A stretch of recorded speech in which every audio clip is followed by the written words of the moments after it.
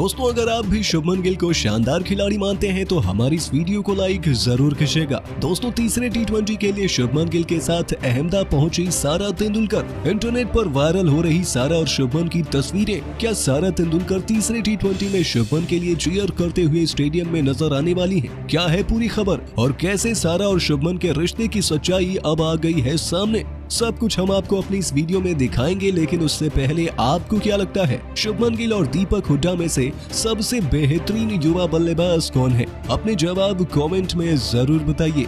दोस्तों, हाल ही में भारत और न्यूजीलैंड के बीच वनडे सीरीज़ समाप्त हुई थी, जिसमें शुभमन ने दोहरा शतक और एक शतक जड़कर इतिहास रचा था, और उनकी वजह से ही टीम इंडिया ने न्यूजीलैंड को तीन ज़ीरो से बुरी तरीके से रौंद कर सीरीज़ पर कब्जा जमाया था। उनकी शानदार परफॉर्मेंस के लिए गिल को man of the series award से भी नवाजा गया था। लेकिन खेल के सबसे छोटे फॉर्मेट में टीम इंडिया के युवा सितारों ने सभी को निराश किया। जी हाँ आपको बता दें, रांची के मैदान पर खेले गए पहले टी में टीम इंडिया महज 21 रनों से न्यूजीलैंड हार गई, जिसके बाद दूसरे टी में वापसी करते हुए युवा सितारों ने न्यूजीलैंड की धजिया उड़ा दी और सीरीज़ में एक एक से बराबरी कर ली। हालाँकि महज सौ रन बनाने में भारतीय बल्लेबाजों को नाकों चने चबाने पड़ गए। एक समय तो ऐसा लग रहा था कि टीम इंडिया ये मुकाबला हार जाएगी, लेकिन सूर्य कुमार यादव ने भारतीय टीम को जीत दिलाकर सीरीज़ में बराबरी करवाई और भारत की लाज बचा ली, जिसके बाद दोस्तों अब सीरीज़ का अंतिम और निर्णायक मुकाबला, जिसमें टीम इंडिया के लिए करो या मरो की सिचुएशन रहने वाली है। ये फरवरी एक को दुनिया के सबसे बड़े स्टेडियम नरेंद्र मोदी स्टेडियम में होने जा रहा है,